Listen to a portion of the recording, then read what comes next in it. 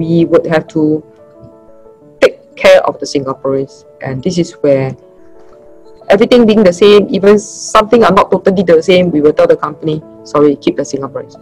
For the foreign workers that you want to keep, uh, share with us what special skill set that this person have that we don't have that you need to keep the person. So typically, I give you an example.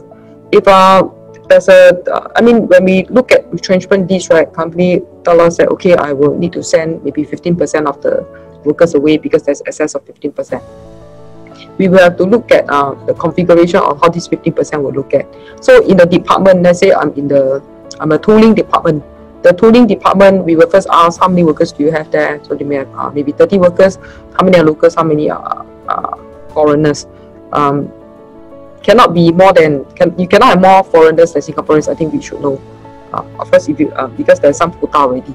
So let's say data loss said there's uh, 20 Singaporeans, I only have 10 foreigners. So by virtue that there's already 10, I mean, uh, and if they if they choose to remove release some of the locals, uh, this is where we go down to each individual. What are the skill set that the guy have that we don't have and why are you keeping the foreigners? So we go into such scrutiny uh, to work closely with the company because we are answerable to our people in the end. So this is something that we have been doing. Actually, in peacetime, we have to ensure that all employees are protected.